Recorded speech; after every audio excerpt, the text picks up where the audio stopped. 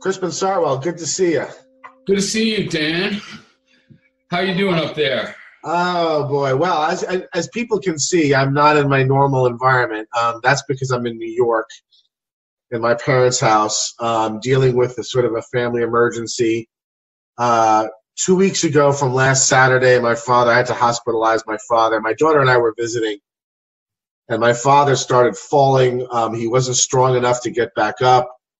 I had to hospital. He's 91. I had to hospitalize him, and it turned out he had a lung infection and um, which I didn't know when people that old can cause hallucinations and weakness and all sorts of stuff. Yeah. And um, the situation is unresolved. He's he's physically pretty much out of the woods for the most part, but mentally is not completely back. And so, um, is your daughter still there? My mother still lives in the house. Yeah. She's herself early stage Alzheimer's and um, the house yeah. really is not set up for people in that condition. Um, for years, I was trying to convince them to sort of either move into a place or have a much more substantial support here. And my father, who is a very strong-willed man, um, refused. Uh, and so I'm kind of now left picking up the pieces, which is hard. Yeah. But I'm soldiering on. And teaching remotely, right? Yes, and so I um I talked to my university because I'm not going to probably be able to go back for the rest of the semester, mm. and they're very kindly allowing me to finish my classes from here. Wow! By recording video lectures and doing that sort of thing. The hardest part, other than the situation itself, is that my wife and daughter, my adolescent daughter, are in Missouri, and um, it's my my adolescent daughter is having a difficult time not being resentful and angry and uh, wanting me to come back. Wow. Um, and she. Well, it's good that she wants that, though. she and her mother, of course, are have to be fighting because that helps. And um, so, uh, you know, I'm finding out what I'm made of, Crispin. I'm finding. Yeah. Shit, man. I'm sorry to hear all this, dude. Yeah, that is pretty much what I'm made of. This shit is what I'm. No, no. no. um, so, but gosh, am I happy to be doing this? It's such a relief um, to be doing something normal, and That's good, man. to be doing it with uh, with you. Um, I'm glad to be doing it too. We um, our discuss our our topic today is one that I think many blogging heads people will uh, will will be happy that we're doing, and I know that some very specifically. So shout out to O'Reilly, shout out maybe to Axel's Castle who has talked about this. Um, we're going to talk about the analytic continental philosophy split, um, and you, Crispin, are almost a perfect person to talk to about this because typically you talk to somebody either from analytic philosophy or someone from continental philosophy, and then you get a very skewed picture Indeed. The philosophers think the continental philosophers are a bunch of flakes, and the continental philosophers think the analytic philosophers are a bunch of pedants. Yes. And or pinheads. Right, and um, you do both. And part of the reason you do both, I'm assuming, is because your dissertation advisor was Richard Rorty, who did both. Yes. And so the way I would like to do this, Crispin, is to ask you to talk to us about how you have incorporated both into your own work and thought with an eye to maybe giving people a sense of what the differences of between the two traditions are that isn't jaundiced with respect to one or the other. Right. That would be rare right? Like uh, it, it really is hard to talk to people about this and there's not too many people who cross. Yeah. And I guess I thought, you know, when I was working with Rorty in the 80s, uh, I think he thought, and I thought, following him in a way, like that the distinction would break down, uh, that it would, it would, it was no longer viable in a way. I, uh, they've been saying that for decades, but it yes. hasn't happened. No, it hasn't, and uh, I find that disappointing, but understandable too. Um, just because these discourses are so far apart from each other. Like they just, you know, each one features at this point a hundred years of, of dogma. I mean, a hundred years of of uh, jargon. Let's uh, maybe some dogma too, but maybe not. Um, you know, so like a vocabulary that's developed, you know, through dozens of figures and you know dozens of decades or a dozen decades at this point. And so it's almost like two separate disciplines right? Like just you know mastering either one of them would be like a lifetime task really and much less trying to do both.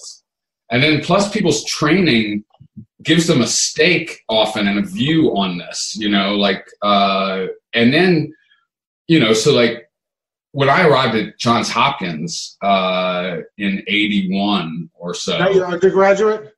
That's why. Uh, that's why I got my MA. Okay. Yeah, and I mean it was a pure uh, analytic department in like such a classic way. Like they they told us basically. I remember people saying, professors saying to me, things like, "There's really no point in going back beyond Frege." Okay you know, like the like history of philosophy was not really relevant to them. They had no one who really did it actually among their dozen professors or whatever, like even history. But then the the view on continental was straight up don't bring that stuff in here. Don't even mention those names. Those that's not philosophy. Right? So um but I mean I had gotten into philosophy probably through Nietzsche above all you know uh, and even as an uh, you know uh, even in high school i was dipping into sartre and heidegger. Like that's kind of what excited me. You know there was even in the 70s existentialism still seemed kind of you know hip and dangerous a little bit you know or uh, um, yeah i'd read existentialist literature in high school. Yeah without having read any any of the philosophy um, you know so i'd read some camus yeah and some Sartre in high school um, um, before I ever studied philosophy. So yes, and literary Dostoevsky, excellence. Dostoevsky and Dostoevsky also yeah. read uh, parts of Notes from Underground and Crime and Punishment in high school. Yeah, yeah, and I, I'm teaching existentialism right now. And you know, one thing about it is, I you know, I don't know how relevant this is right here, but the the literary excellence of that material uh, you know, whatever you think of the philosophy, finally, like, uh, you know, like, does it all hang together or does it, you know, like, I think Sartre is kind of a mess or whatever, but like the writing is beautiful. All right. Like it's, is, you know, I think that's what attracted me to a lot of these texts. Yeah. Um, and I agree, I agree, with that. I think the yeah. liter- I think it's a better literary tradition than a philosophical tradition. Um, well, existentialism maybe per se. That's what I mean. That's what I mean. That's yeah. what, I'm talking about existentialism now. Yeah. Um, I think Camus' The Plague is probably one of uh, probably the five books that has phys- that has moved me the most. Um, uh, yeah. Uh, I remember reading it. I remember the experience I had reading it. You know, I mean. Um, yeah. I just taught No Exit uh, by Sartre. You know, it's it's it's really wonderful. Yeah. But you know, yeah. So when I arrived there, they basically just said you can't bring that stuff here. But even at Hopkins at that time, so I, I went to the English department and stuff like this. So Stanley Fish was teaching there, and I mean, he's not he wasn't exactly a continental philosopher, but he was definitely thinking about Derrida, sure, and Foucault, and Rorty for that matter. Uh, this is before I knew Rorty, and uh, you know, so I I kind of even there, I was kind of feeling my way out into some of the other stuff, which is not to say that I didn't, I got quickly seduced by analytic philosophy. Like I, you know, as soon as I started reading Quine and Kripke, uh, you know, Kripke was rocking right then. Like Naming and Necessity was pretty recent. The Wittgenstein book came out right in when I was in grad school there at Hopkins, and um, I mean, I just I I fell in love with that stuff but I also felt like it, and and it's I res, you know tremendously learned to respect its precision. Uh, and actually, there's a lot of good writing in analytic philosophy as well. Yeah, um, there's more than people realize, but yeah. it's it's a pretty tight group of authors in analytic philosophy that I would say are excellent writers. Yes, and there's the ratio of excellent to not excellent is is is relatively low. Um, yeah. That, no, that's definitely true. But like you know, when I was, I just mentioned Quine and Kripke. Okay, Quine's a great writer. Kripke's yeah. a great writer. Um, um, I think that um, um, Cavell is a great writer, though he's Yeah. very hard. Yeah. All right. Going back to Russell. Russell's a great writer. Yeah. Yeah. Um, yes, but so I, you know, right. So I, you know, I was definitely confronted with the choice. Like it has to be one way or another, is the way they presented it, uh, and also just that that Continental was discreditable. You know, discredited. Uh, the, the way they talked about Continental philosophy, they just despised it, and they, you know, and they had virtually no acquaintance with it as well. Um, so I, I tried, like I, I almost secretly kept dipping into the uh, continental side, or like trying to take some graduate classes in other departments that broach these topics a little bit. Wait, Uh, wait a minute. It cut out a little bit, so I want. to, Unfortunately, again to viewers, I'm very sorry about this, but I'm on a Wi-Fi, which is part of the reason why this is not crystal clear. You were saying that you kind of that that they despise the the writing of the continental philosophers. Well, no, they just, they, well, they, I'm sure they did. They thought it was straight up nonsense, right? Like Right. it was just, it was almost comical how people were seduced by this meaningless crap, you know? And to be fair, that goes back quite a long way. I mean, I mean, um, Rudolf Carnap wrote a whole piece, sort of dismantling Heidegger, right? Yes. I mean, I mean, you know, the being of non-being is the is the asshole of my being, right? I mean, it's just sort of you know, The nothing nothings, right? Was right, right. And so and so yes, that's a that's been a long-standing complaint of analytic philosophy against. It's not just contemporary analytic philosophers. The great Yes. tradition of analytic philosophy, Yes. in some way, was opposed to what they saw as a kind of obscurantism.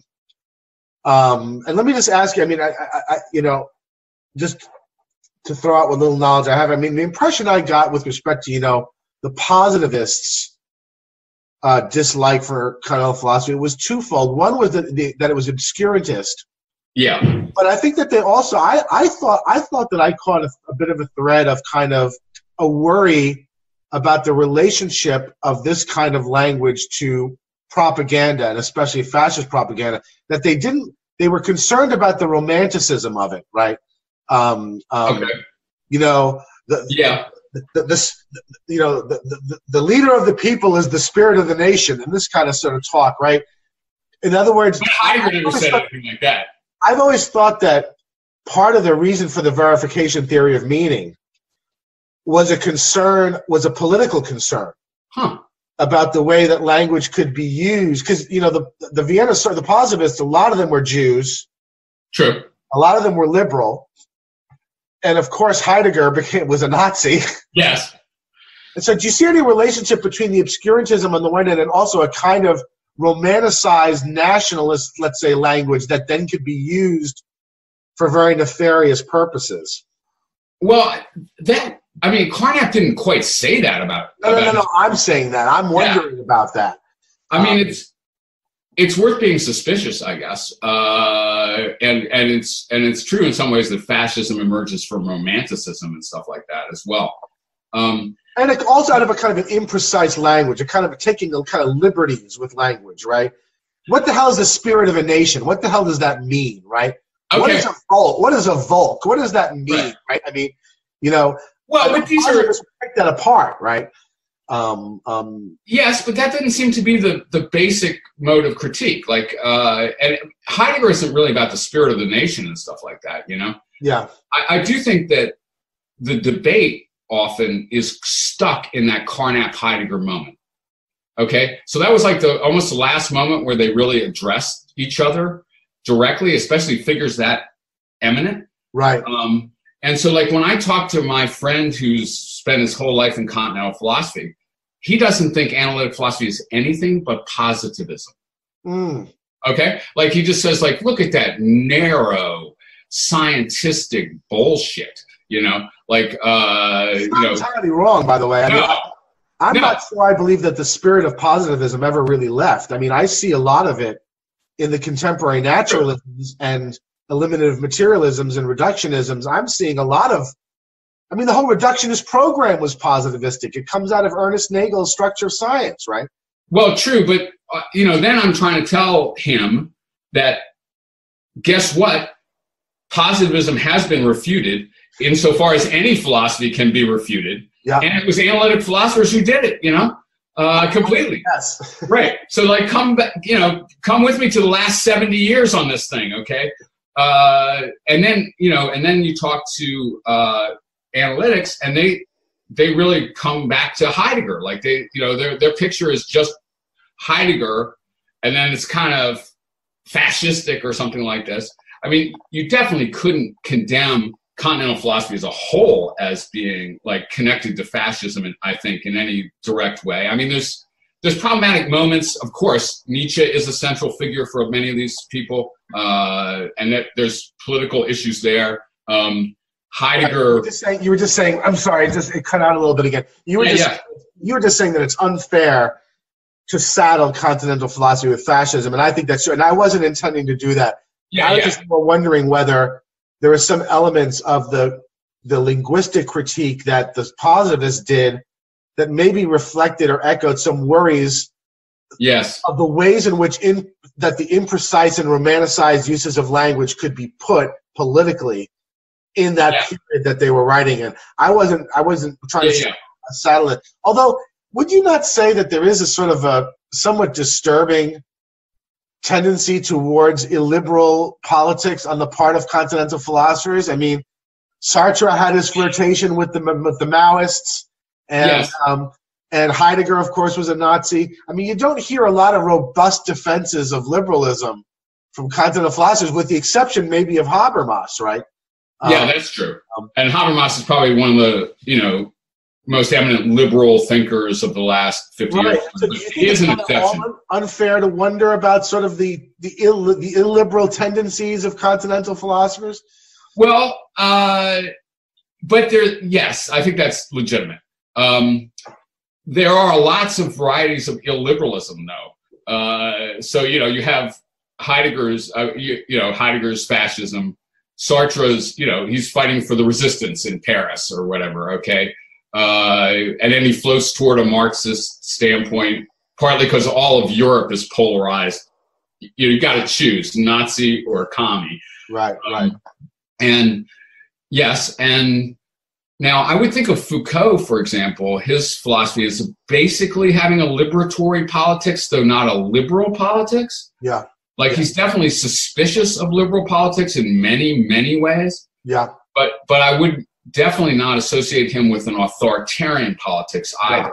right. Um, but yeah, I think it's worth getting worried on political grounds about these things. Uh, yeah, and it, I think it's quite right that there's not a, like a through strand of liberalism in that tradition. Yeah, You know, Habermas is an exception, although he's a gigantical exception. yeah, yeah. Now I've been I keep I've been interrupting you, so please. So we were you were talking about your background and how you got into this interesting position of of combining these two traditions in your work.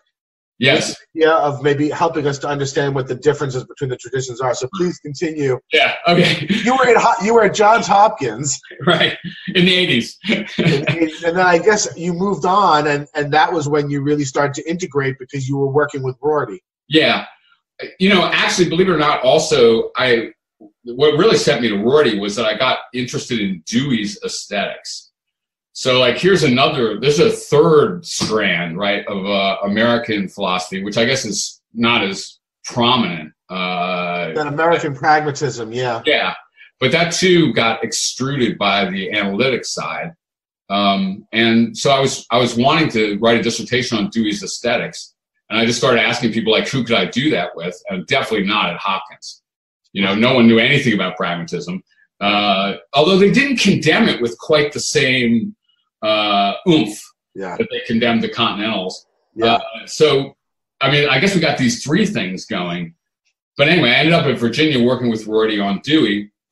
And um, I just watched him, yeah, watched him work with, through Habermas, you know, Gadamer, who appeared in our graduate seminar at one point, uh, a friend of Rorty's. Uh, Rorty loved Jacques Derrida.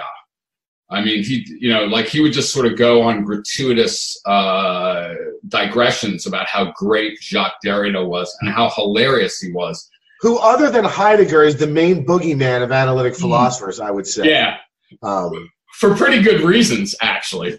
right. Uh, yeah, Rorty used to say that he would be riding the uh, the subway in Paris or whatever, reading Derrida and just laughing out loud continuously and stuff like this, uh, which still surprised. I'm still trying to figure out how that could be or what that meant.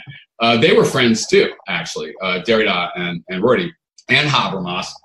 But um, yeah, so in Rorty's circle, or uh, you know, like in in his uh, his his sphere of influence, you had to try to master both.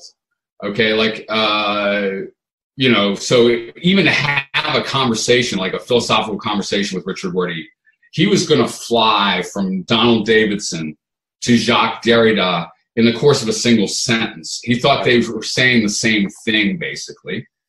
Uh, and, you know, so in other words, to even deal with his philosophy and deal with him as a teacher and stuff, you know, I, I started to try to expand to read, you know, contemporary continental, um, sort of under his guidance or whatever.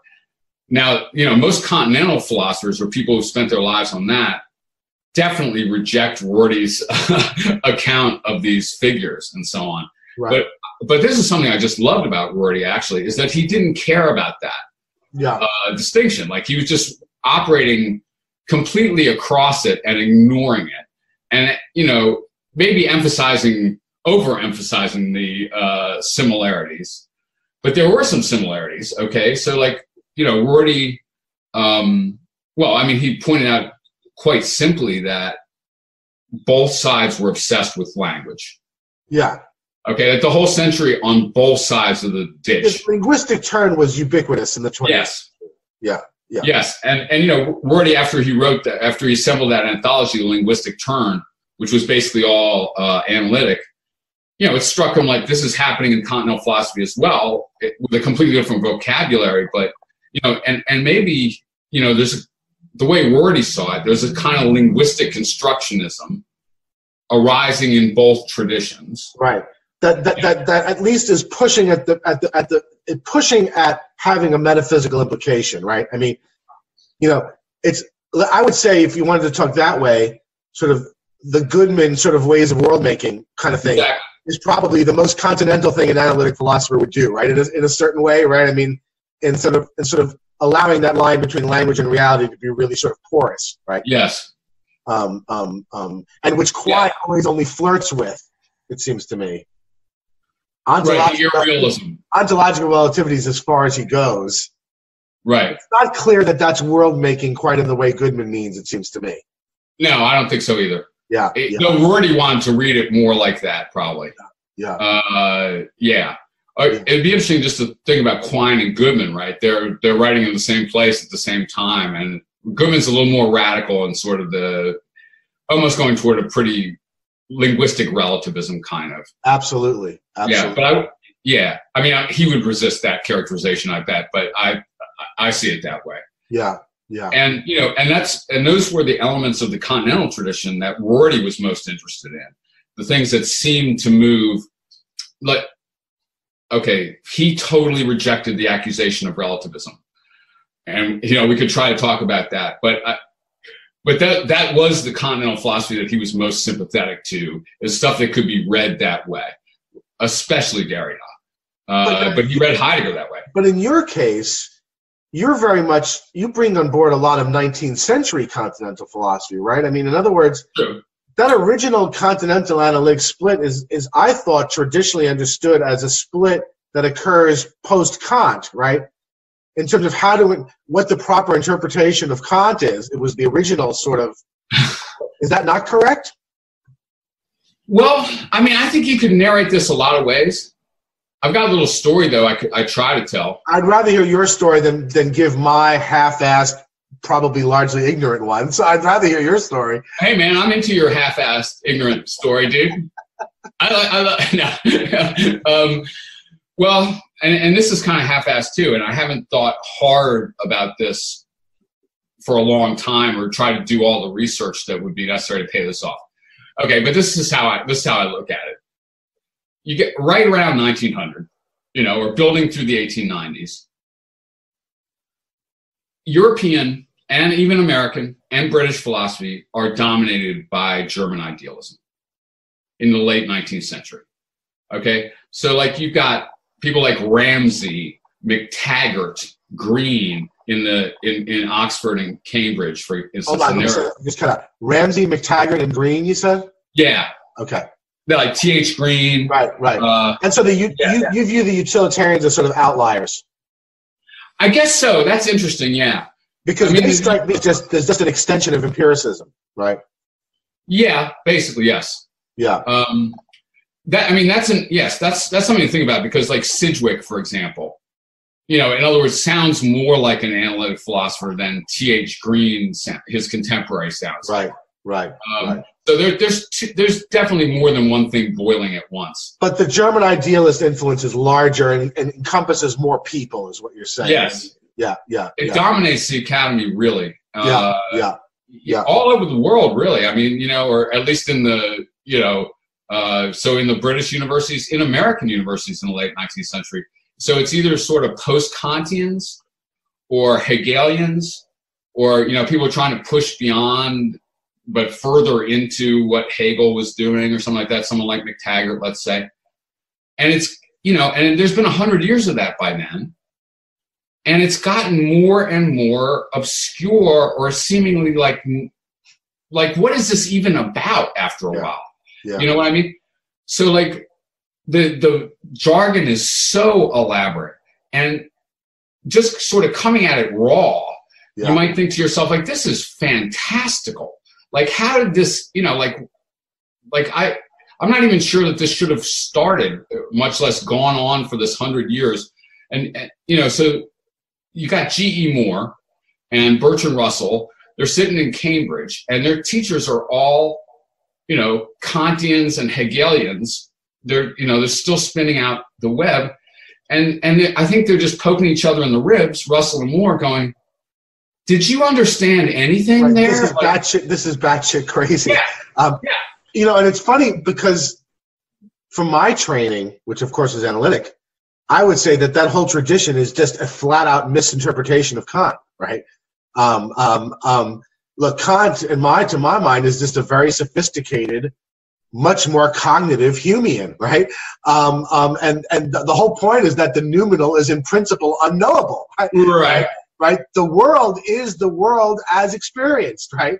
And Okay. it almost seems like the whole German idealist tradition is based on exactly what Kant said very plainly is unknowable, right? Yes. And I mean, Um, Hegel's Hegel's explicit about that, you know, and Fichte and Schelling too, and they're working off Kant, and they're, I mean, they're trying to bring the noumenal uh, out from the shadows or something like that. Yeah, Right. Yes, the, different readings of Kant are pretty key, actually. Now that now that you mention it, you know, Yeah. reading Kant as an empiricist is not ridiculous. No, I don't think so. Um, no, but he called himself an idealist. You know, which is interesting. And then he fucks around with it in the ethics and stuff because he wants to give you a noumenal self that's not bound by causality, right? So I mean, you know, indeed. he kind of he kind of I don't know, he kind of problematizes the interpret his own interpretation.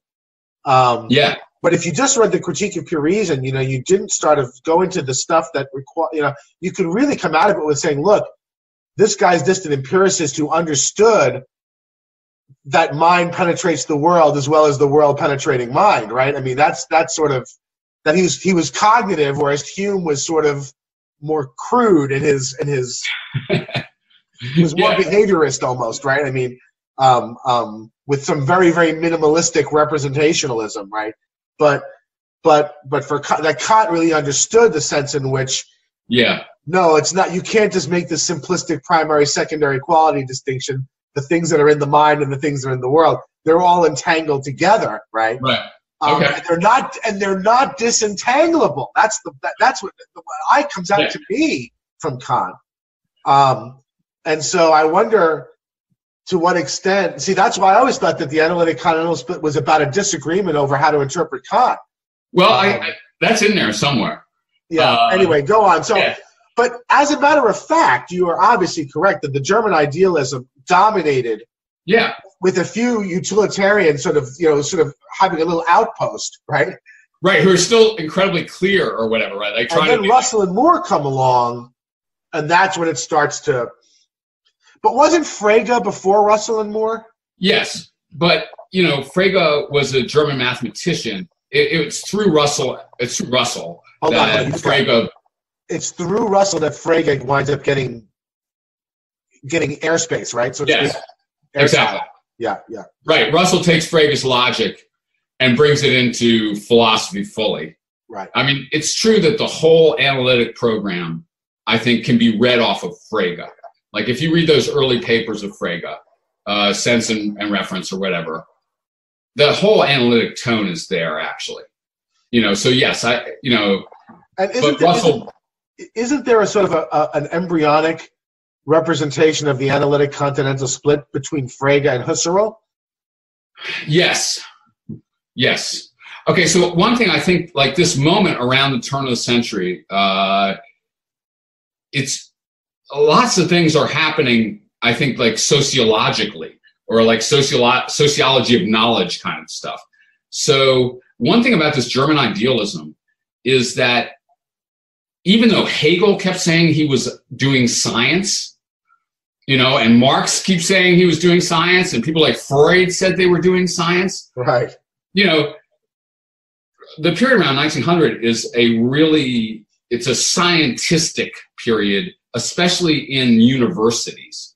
Like it, it becomes at that moment, science becomes like sort of the only respectable source of knowledge. So every discipline has to defend itself on the grounds that at a minimum it's not incompatible with science. Right at a maximum, it's scientific itself. You know, somewhere in between, it might be useful for science or handmade to science or like clarifying science or something like this, like the positivists, I think, thought they were doing. Um, but like you, you, there might not have been philosophy departments 20 or 30 years into the century if they hadn't made this move because when you're thinking of science in this kind of pretty straightforward empirical experimental vein as the basic or even only source of human knowledge, this German idealism just looks ridiculous pretty yeah. quick. And yeah. so like pretty soon, like deans are saying like, do we need this? Does it, you know, does this do anything for anyone? And the, and the profession is in crisis where, where philosophers are writing things like, we haven't achieved anything in a hundred years. Like we, you know, like, what does this even mean? Like, what are we doing? and how can we defend our spot in the university actually or just our spot in human knowledge? Yeah. And like i think you see different reactions to this. Husserl is an example i think. Like the, like he's he moves pretty straight out of this idealist tradition. And you know he's trying to narrow it down make it a lot more clear give it foundations that are possibly scientific like this kind of immediate contents of experience or something like that or at least not incompatible with science. Right. I, the rise of pragmatism in the U.S. at exactly the same point has really the same tone. So Peirce yeah. and you know is saying like, you know, his model for knowledge, Peirce's model for knowledge is science, empirical science, you know, pretty narrowly understood, and you know he develops pragmatism as a theory, as a philosophical theory to underpin developments in empirical science. And all of them also have the sense of let's get rid of the mumbo jumbo. Like there's been just a lot of stuff that we don't even know how to evaluate. Like you wouldn't even, if this was true, what would be different? Or you know what I mean? Or if it's, and so I think like all over the world kind of, or, you know, in the, in the European and European American type of world, um, you get all kinds of reactions almost simultaneous that it's time to ditch this German idealism for yeah. sure yeah. and come into something that's clear, something that's more respectable in an academic context. So then, how do you get something as obscure as Heidegger out of that? Right. Good question. All right. Um, I've been thinking about this because I just I knew, I knew, we were going to talk about this.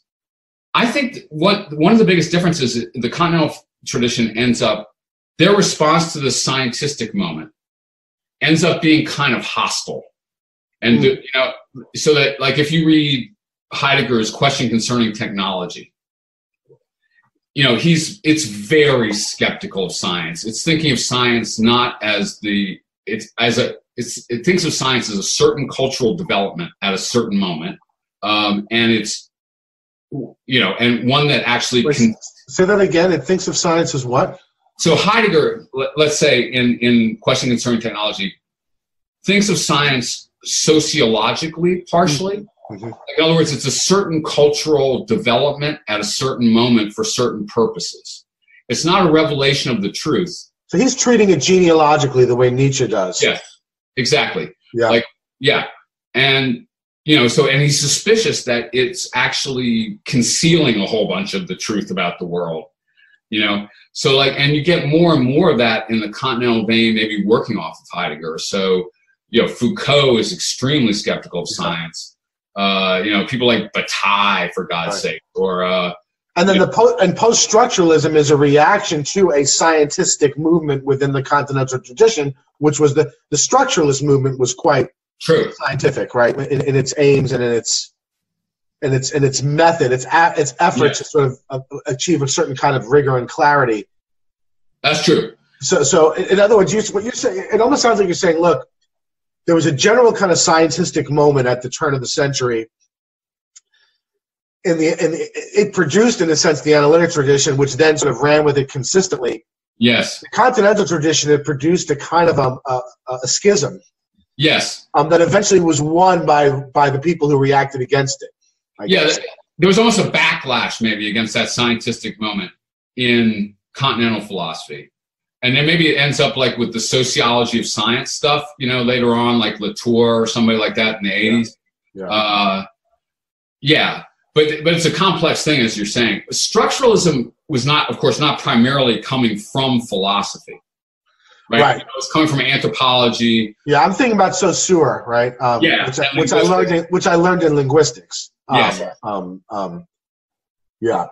Yeah. Yeah. Okay. So um, you've, right. you've given a little history of, of how this happens. Now, maybe you could say a little bit about, in terms of the substance and the style, what you see as the primary differences between the two traditions. Yeah. Well, and I think I might I might be quoting Rorty here. I mean, I kind of like internalized a lot of Rorty without being sure who was doing what. Uh, but the way he looked at it, it was basically a difference in prose styles. All right. And I think whatever one thinks about the, the content of these things, that's definitely true. Like, you know, so these were very different ways of writing. Yes. Uh, yeah. But and could you characterize the difference? I mean, I used to think that the difference was that the continental tradition was more a literary prose style, and the analytic tradition was more of a science influenced prose style. But I don't actually know if I think that works because a lot of the um, the continental writing is really bad writing, right? Um, it's very jargon filled. Um, it's it's it's not anything that re- that's pleasant or or beautiful, and so I don't know that characterizing it as literary is quite correct. Um, how right, would you characterize this stylistic difference? Yeah, that's interesting. I mean, I think it's definitely eh, there's elements where it's a lot more literary. Obviously, the existentialist move, even Heidegger maybe, but Heidegger isn't really writing in a literary vein. Uh, he's developing his own whole vocabulary. Really, he's making up a language almost. Um, well, I think that you know the. I mean, the analytic style is premise, premise, conclusion. You know what I mean? Like the model is given by logical argument, uh, by logic. Um, and also, there's a ethic of clarity. Okay, which is not to say this, a lot of stuff isn't hard as hell to read, or that you don't have to like really know a lot to understand it. But if you are an analytic philosopher, you had better be trying to be as clear as humanly possible. Right. Okay. And I got to say, like, I respect that immensely. But I think of it like so, almost like a strunk and white uh, elements of style, uh, prose approach. Yeah. You know, like just the facts like as plainly as possible. Um, whereas you know, I just think there was all kinds of stylistic experimentation in the continental tradition. Um, stylistic experimentation is what you said. Yes. Stylistic experimentation. Yeah, you're. Yeah. Am I cutting out now? A little bit, yeah. All right, hold on. I'm going to pause. I'm going to pause. Hold on. That's all right. hey, everyone. Sorry about that. Am I cutting out again now? a little bit, man. It's a little bit. Okay. It's okay. Okay. Um, yeah, we're so just I, gonna have to do a DIY for a little while. Um, am I cutting out? I, I I noticed that when I cut out, it seems like I noticed lag in my video. Yeah. Was that was that cut out, or did you get that? I think I got it. Okay. You sound good. Go on. Um, yeah. Um, so, there's more. You said there was a lot of stylistic experimentation on the part of the continental philosophers, whereas the analytic philosophers were always aiming for a kind of clarity and logical uh, right. tightness, so to speak. Yeah, and so they kind of converged.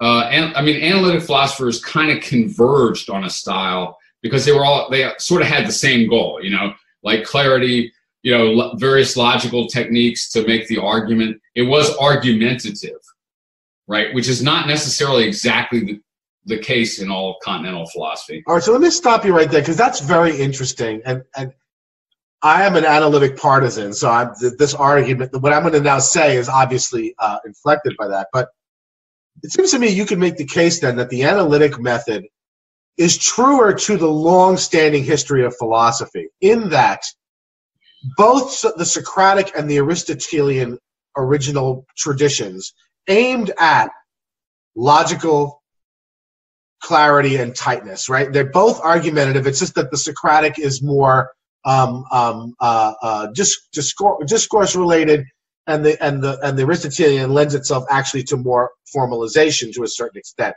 Yes, it sounds to me like the continental tradition, really, if you wanted to talk about its spiritual its spiritual origins, it comes out of the sort of the aphoristic style of Nietzsche.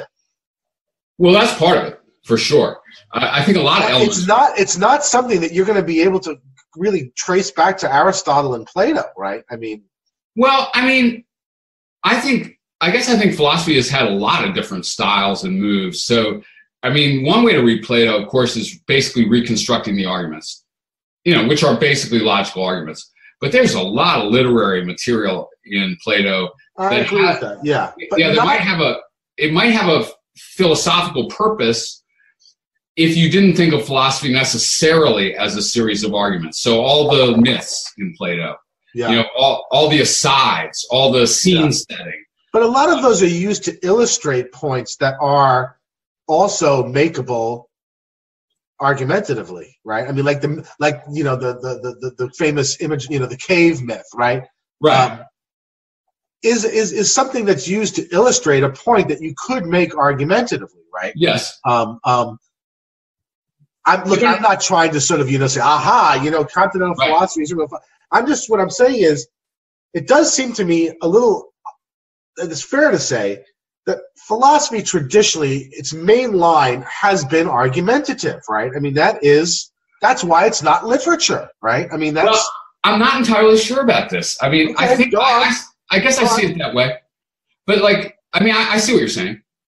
And I think of it that way. And there's a borderline. So like, you know, someone like Montaigne and some of the great yes. essayists or like Erasmus and stuff, they're, they're, I would exactly. call them philosophical essayists, right? In other words, they are on the borderline between the, the, the, the literary and the philosophical. And maybe, you know, someone like Plato is halfway into the philosophical, but still with a foot in the literary. Someone like Quine is all the way in the philosophical.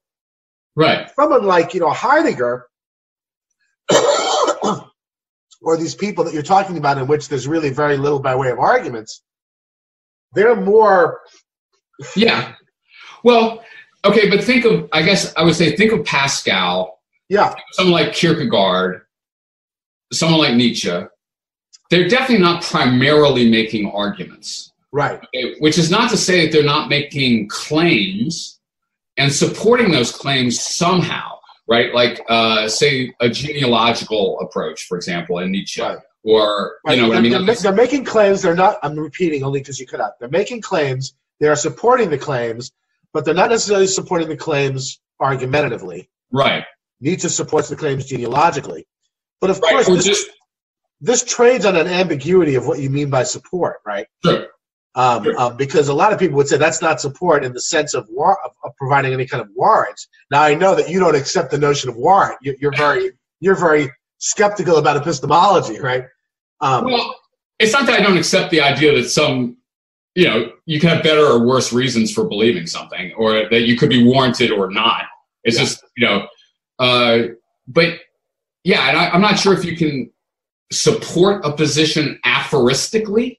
Like you, you can motivate it, you can uh, like make it seem attractive, or you can and in a way you're probably giving reasons in that process like if you're nietzsche or whatever. Um, but yeah i think that they definitely have different conceptions of philosophical methodology by the time you get pretty far into this you know? And I, it's definitely true that many of the continental philosophers are not primarily concerned with giving arguments Yeah, this is very interesting, and I, I'm more and more starting to think that Nietzsche is actually absolutely crucial because, of course, it's Nietzsche who rehabilitates the the, the sophists, right? Um, um, um, you know, because a lot of what we're talking about, this arguing over what we mean by support, right? Um, Sure. The whole point of Socrates' fight with the sophists was that what those guys are doing is not support, right? Um, Right. um, what, what those guys are doing is kind of rhetorical manipulation of opinion, right? yes um, which is not the same as support because it's not truth functional, right? Um, um, there, there might be many ways to the truth the fact that I can convince you of something doesn't mean that it's more that what I've convinced you of is more likely to be true, right? I mean, that does require something along the lines of what we would call argumentative warrant. Um, and it seems to me that Nietzsche is one of the one of the major figures who pushes back against that Socratic prejudice, if you want to call it. Um, um, and and b- partly because he thinks that genealogical arguments are a kind of support, yes and they wouldn't be truth functionally, right? I mean, they're they're not truth functional support. well Telling me where something comes from is not a reason for thinking it's true or false. right all right maybe that's sorry, right sorry, I'm being difficult. yeah, no. I, I guess I think there are potentially many ways of revealing the truth. Many ways, you know. So, like, I wouldn't say that Nietzsche or Heidegger or Derrida move purely into rhetoric, like move into the idea that, uh, you know, all I'm trying to do here is persuade you or blow you away something. like Okay. Okay. uh, but like I think that so like say when I read the aphorisms of Pascal or something like that, I often have the sense that I'm being drawn into a truth that maybe that's hard to say that that maybe can't be reconstructed or supported beautifully in a premise conclusion style, uh, but also that might be more profound than anything that you could you know support in a deductive you know or logical structure now of course that could be delusory or that could be a rhetorical effect right like in other words like i'm reading heidegger i'm going like wow i don't understand this but it seems so profound somehow and so like that's and so then i go like well i'm now i'm a heideggerian yeah. but I think there's more to in it than that. Like I think, like I think poetry, for example, can be a way to. This is Heideggerese, I guess. Reveal the truth, Right. you know, in some way. Yeah. Uh, you know, so Yeah, You I don't want to. I don't want to litigate this, and that's why. Yeah. I, actually, this what you're saying now is really helpful, and it also connects the stylistics difference to the substance differences. What you just said about perhaps the non-argumentative modes of support, if we want to call them that, are sometimes the only way to get at certain kinds of truths that are perhaps the most profound ones. That there are truths that are out of the reach of argumentative methods. Is that the Yes. idea? yes, I mean, for example, what if we critiqued argumentative methods? What if someone had, you know, I mean, I think Heidegger actually does think this. There's many truths, or maybe the most profound truths, that you can't reveal. Like you're taking up a position in a certain discourse that arises at a certain time, this kind of argumentative rationalist discourse or whatever. Uh, and now we got to gene- do a genealogy of that. How does that arise? Whose purposes does it serve? Right. Uh, and what does it conceal? Like, what are we incapable of expressing Right. at this point? You know, so, and then you might, you, so like you might think to yourself, okay, I'm going to read the Tao Te Ching or something like that.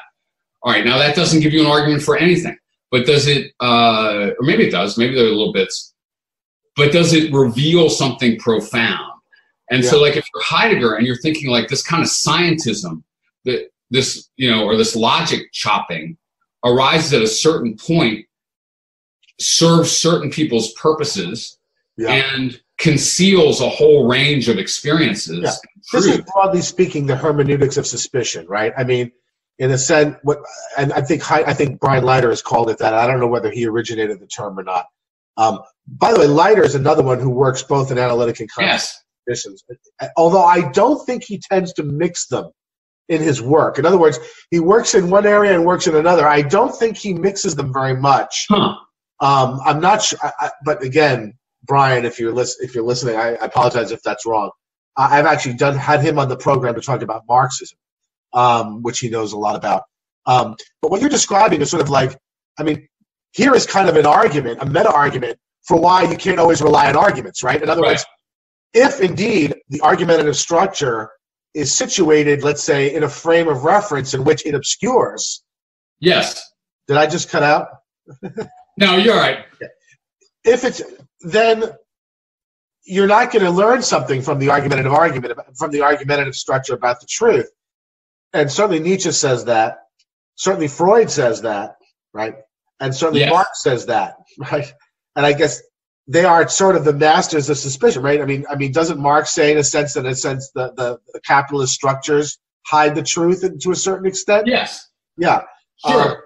um, I guess the problem that I have then is my inclination in that in that situation. I accept that problematic, but my inclination then is to become much humbler about what the truth, what the discoverable truth is, right.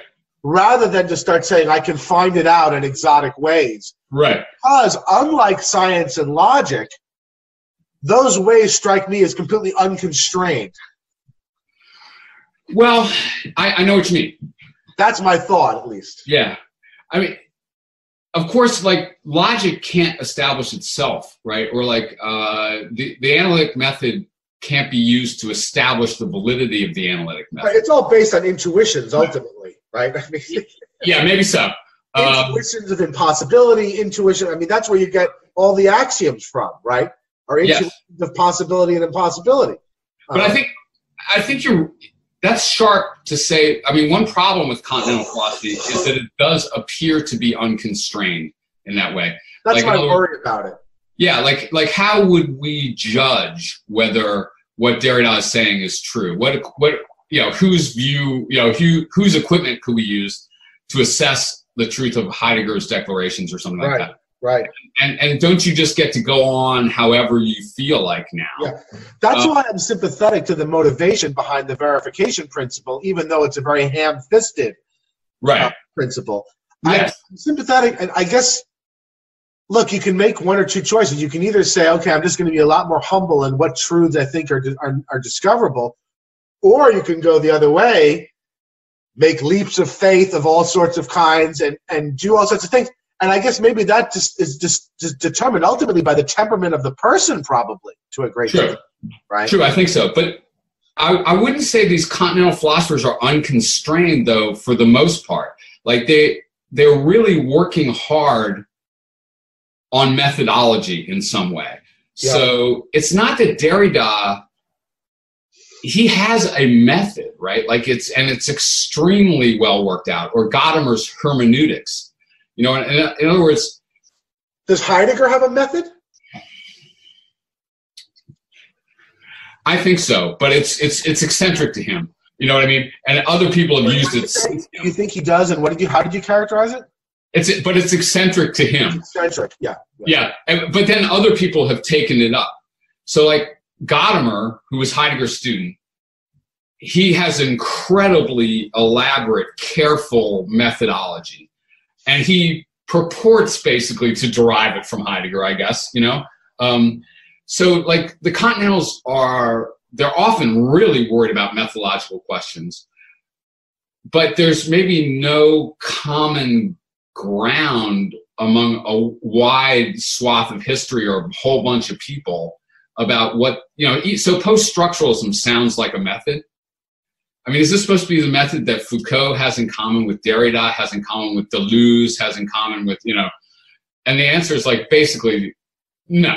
I mean there's there's no single method. But all of those figures are really worried about what method they're using and what its relation is to the truth and what is truth and all that stuff. So like I in some ways, someone like Gadamer or Foucault, they're in their own way, they're similarly rigorous, I think.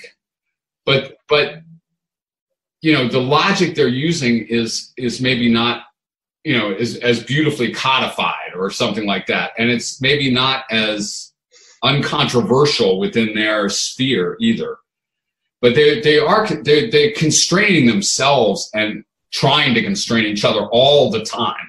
You know, to the deconstructive method. Admittedly, that's you, you know that's elusive. Like, what the hell is that? But we can say some stuff about what it is. You know, but um, so yeah, I mean, I feel the the attraction, as you say, like of the verification principle or whatever. Like, it gives you grounds for saying, well, we don't have to worry about this you know, or like nothing's going on there. And sometimes that's quite true, you know, and then this feeling of like sort of methodological chaos that you got on the continental side. But I will say, like the Continentals, though, are really worried about methodology, though. Like they're they're aware of their own problem in a way that along those lines.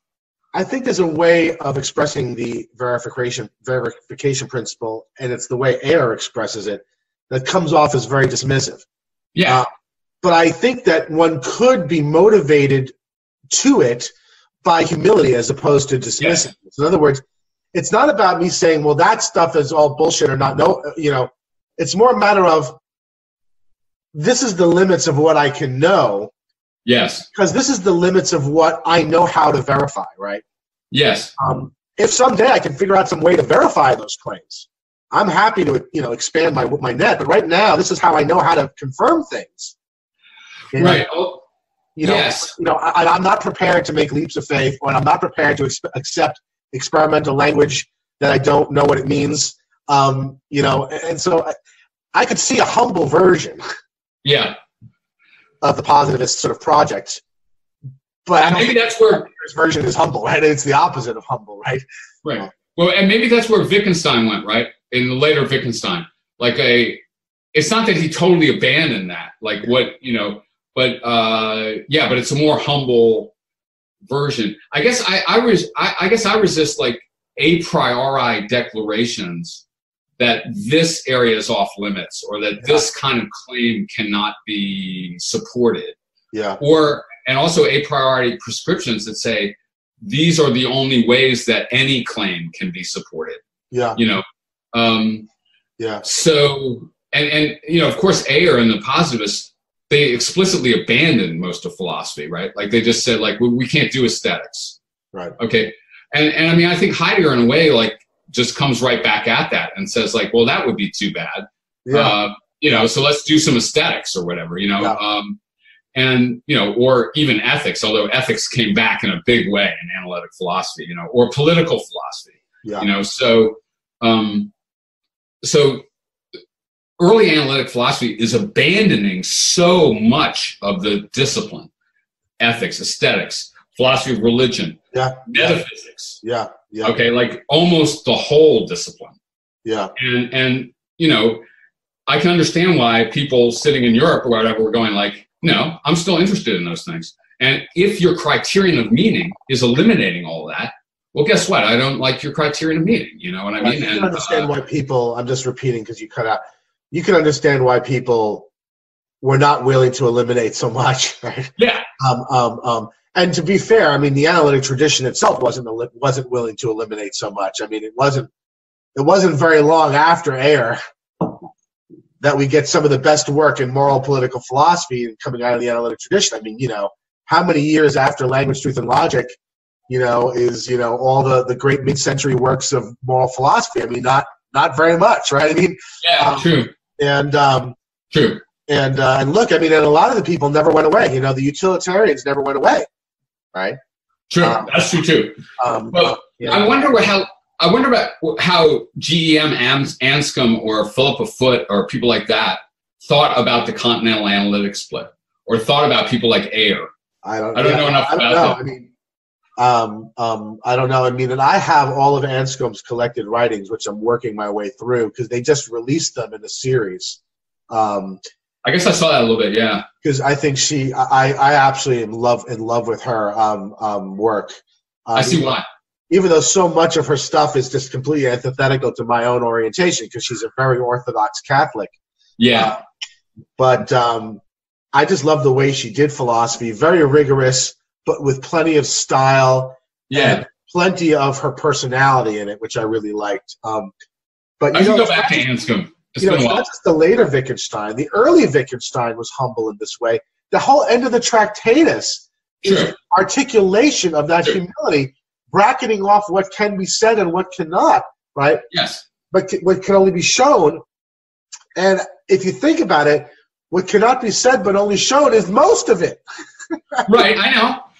But see that that that would irk Heidegger. I know, but I kind of like that because to me that's I guess maybe that's in line with sort of my my very deep Humeanism, right? I mean, sort of in the sense that you know, I'm respectful of the limits of what I can know, Right. And I'm not willing to just sort of, it's not that I'm not willing to speculate, but that when I do, I want to be very clear that I'm doing a very, I'm engaged in a very different kind of activity. So, you know, even on my own magazine that I publish, I have separate categories for the things I do that are just sort of ranty or wild speculations. Right. I don't even call them essays, right? Okay. Because because I guess I'm sort of cognizant that this stuff is just my intuition's running wild or this stuff is just and i'm in, inclined to be kind of constrained because i just think it's a, there's a kind of responsibility to be so but I, that just may be temperament. I'm not really making a yeah. case for it you know? Yeah yeah. I mean i think in a way this might account a little bit for say that language of heidegger which is so hard. I've just been trying to teach it to undergraduates for god's sakes. Uh, undergraduates well there there that's your first mistake right? Yeah. Uh, they, they're pretty into it but not that not that any of us understood it really. Um, but i think like like maybe you know heidegger comes to the end of the tractatus. I don't know if you read it or not. Uh, and he goes okay my conclusion is we need to bend language in a different direction. You're cutting out. Uh, yeah. Is this going to be too messed up? we're not going to go much further but let's just get this last part in. Okay. You just were saying that heidegger is talking about the end of the tractatus? Well, no, I'm, I'm, I'm speculating. I'm imagining a, a fairly young Martin Heidegger reading the Tractatus of Wittgenstein and coming to the end and going, that's a challenge to me to do something in language that appears impossible to Ludwig Wittgenstein. I'm going to try to show in language what cannot be shown in language. And to do that, I'm going to have to kind of like invent a, invent a new vocabulary. Yes. Yes. Um, I mean, I, I, don't think that's actually the story of how Heidegger came to his vocabulary, but I think that's kind of what he's doing. Like, he's struggling to say things or show things through language that cannot be stated in language, or at least not precisely, right? And, you know, so and and so like I, he's quite consciously like trying to defamiliarize language like introduce new terms bend old terms deal with these crazy animal etymologies reinterpret words go back to the origins of uh, western philosophy and, and and work with the vocabulary or something like maybe his response is like i don't know if i can show this in language or not but i'm going to take a shot at it okay yeah. like uh you know I, I don't know. I don't know. I don't. That last thing was that I don't know whether I can show this in language, say this in language or not. But I'm going to make it take a shot at it. Yeah, uh, um, is a is a is a good way to think about it. And um, while it probably doesn't capture all of the continental philosophy. Certainly, it certainly does capture sort of maybe a main thread of it. Um, um, a, uh, one of the most important threads of it. Um, yeah, I think so. Talk about and write about the stuff that at the end of Wittgenstein's tract say, hey, Wittgenstein said it can only be shown and not said. Right. And then it's up to the audience to decide whether they think that's wisdom or folly, right? Right. Um, um. and, and, and maybe you can show in language. Like maybe, you know, you could try to break this down or just make it. I mean, that's part of the weirdness of these texts. I think of Heidegger and Derrida especially. They, they don't, I, I, they, I think in their own account, I think they are obscurantists. Okay, like I think they they are purposefully obscure, especially. Derrida, uh, both of them. But their account of what they're doing is like they're defamiliarizing language, they're pushing language, they're recovering forgotten aspects of language. They it needs to sound weird because they're trying to do things that are apparently impossible in language in certain ways. You know, but yeah, yeah. Unfortunately, our connection now is just getting yeah. worse it's getting worse and worse. And so yeah. I'm not going to torture the audience. Um, uh, we can try to do this again in, in a clearer way at some well, point. Well, we're going to do this. Well, no, I'm not. I'm hoping that we don't have to re, re, re-record this because I think we did it really well. Okay. Um, but um, we won't do many more dialogues like this. Um, it's too bad, man. As I explained to everyone, this is because of my circumstances, um, and so I won't. They won't have to suffer Wi-Fi video discussions again. Crispin, thank you so much. Thank you. I hope your circumstances get better, man. I appreciate I that. Your family's okay and everything. I appreciate that, and um, I'll be shouting at you for another one, uh, another one pretty soon. All right. All right. Sounds good. All right. Take care.